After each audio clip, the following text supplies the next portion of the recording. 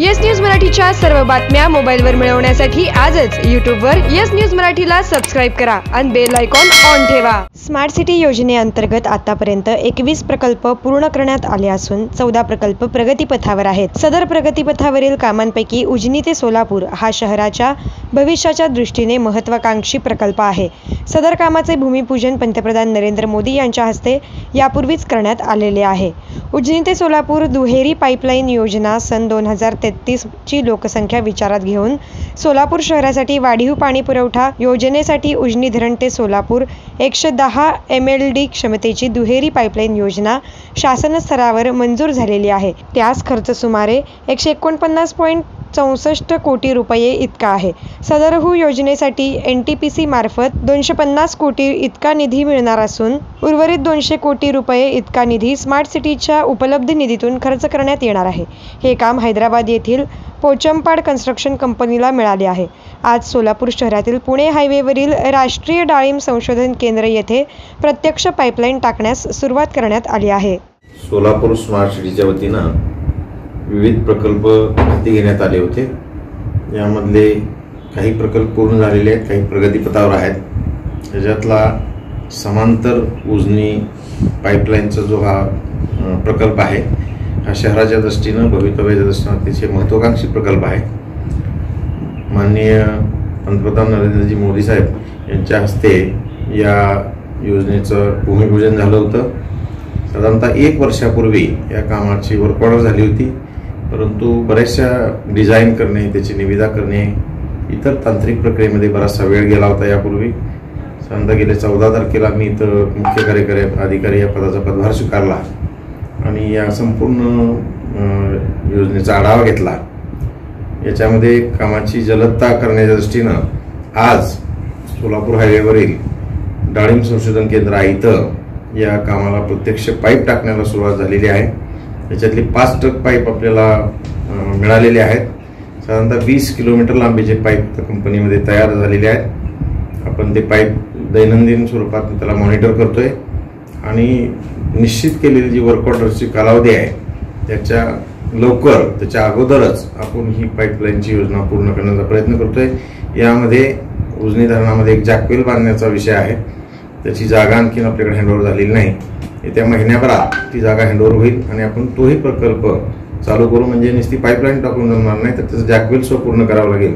ही दोन्ही कामं आपण वेळेच्या अगोदर निश्चितपणाचे पूर्ण करण्याचा आपण प्रयत्न करत आहोत. ही योजना पूर्ण झाल्यामुळे शहरातील जो पाण्याचा प्रश्न आहे तो निश्चितपणे कमी होईल. दैनंदिन पाणी देण्याची सुविधा होऊ शकते.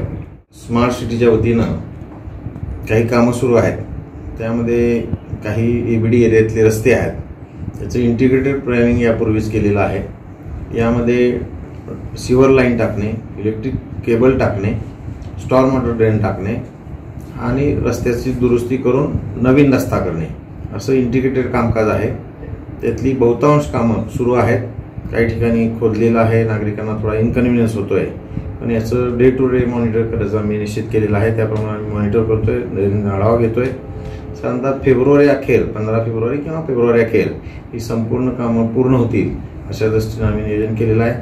थोडी जरी वाहतुकीची अडचण झाली तरी शेवटी आपल्या भवितव्यासाठी थोडा त्रास आपण सहन करावा लागेल.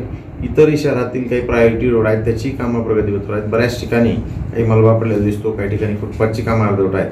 तर ते काम निहाय आम्ही आता त्याचा रिव्ह्यू घेतोय. ती कामं वेळेच्या अगोदरच पूर्ण करण्याचा आम्ही प्रयत्न करतोय.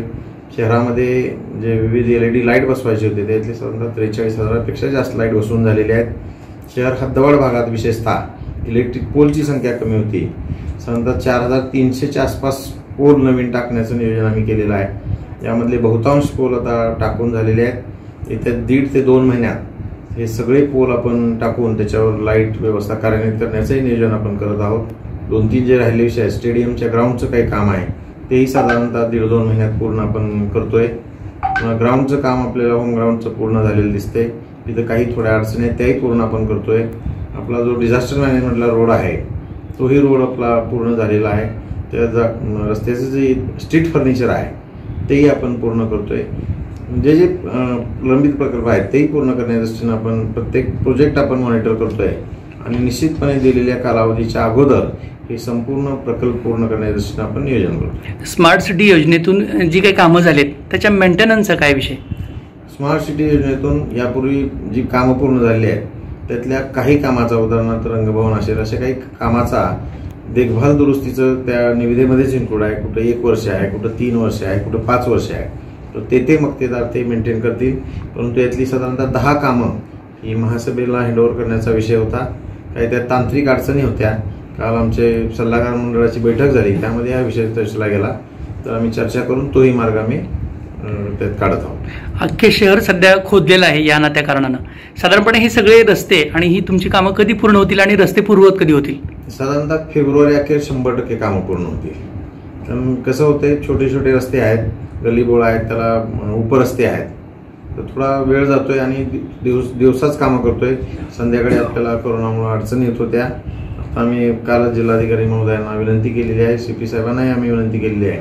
जर आम्हाला संध्याकाळी परवानगी दिली तर निश्चितपणे आपली कामं जलद गतीनं होऊ शकतील.